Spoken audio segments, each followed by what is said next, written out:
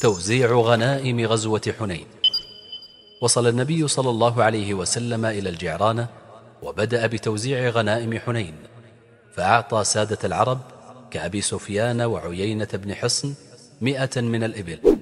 أعطى رسول الله صلى الله عليه وسلم سادة العرب هذا العطاء الكبير ليؤلف به قلوبهم كي يتمكن الإسلام من قلوبهم.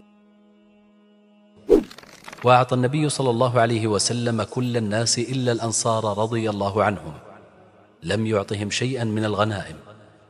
فأثر النبي صلى الله عليه وسلم في العطاء العرب على الأنصار. موقف الأنصار من قسمة الغنائم. فبدأ الأنصار رضي الله عنهم يشكو بعضهم بعضا.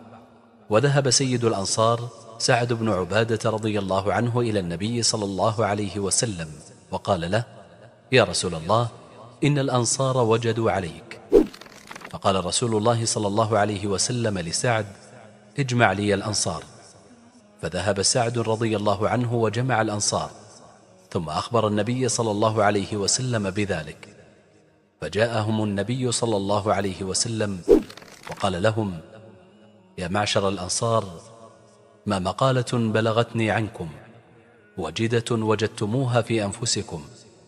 ألم آتيكم ضلالا فهداكم الله ومتفرقين فألفكم الله بي وعالة فأغناكم الله بي قالوا بل الله ورسوله أمن وأفضل فقال رسول الله صلى الله عليه وسلم ألا تجيبونني يا معشر الأنصار قالوا وبماذا نجيبك يا رسول الله ولله ولرسوله المن والفضل فقال رسول الله صلى الله عليه وسلم أما والله لو شئتم لقلتم فلصدقتم وصدقتم.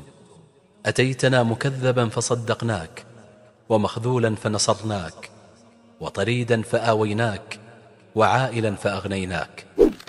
ثم قال رسول الله صلى الله عليه وسلم أوجدتم في أنفسكم يا معشر الأنصار في لعاعة من الدنيا تألفت بها قوما ليسلموا ووكلتكم إلى إسلامكم أفلا ترضون يا معشر الأنصار أن يذهب الناس بالشاة والبعير وترجعون برسول الله في رحالكم؟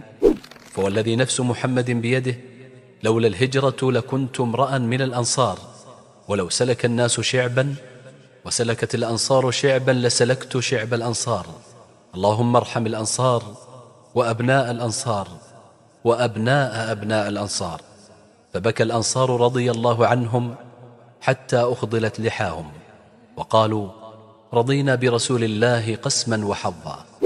فبين النبي صلى الله عليه وسلم لأصحابه الحكمة في إعطاء سادات العرب الأموال العظيمة وحرمان بعض الصحابة وهو خوفه من ارتدادهم.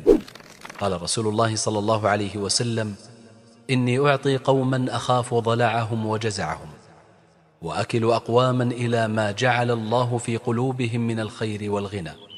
رواه البخاري.